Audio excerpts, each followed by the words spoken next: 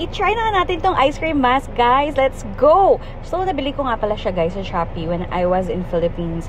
So, meron siyang kasamang cloud soap at 485 lang siya, guys. So, lalagay muna kayo, syempre, mag-wash-wash muna kayo ng face niyo ng soap before kayo maglalagay nitong mask na to. At mabago siya, guys, in fairness. At nailagay ko na nga siya, di ba, bago ako naglagay-lagay ganyan. Tapos, ayun na nga. So, maghuhugas na tayo ng ating mga faces after 5 to 10 minutes. So, ang hirap niya tanggalin actually sa face, pero feeling fresh. Ang sarap niya sa mukha, guys. Parang na-rejuvenate siya and everything. So, tingnan natin kung may effect. Parang wala naman siyang effect, guys. Ito walang filter tong phone ko, ha. Pero, parang natanggal naman yung mga dead skin ko. So, try natin ulit next time kasi first time ko to. Bye!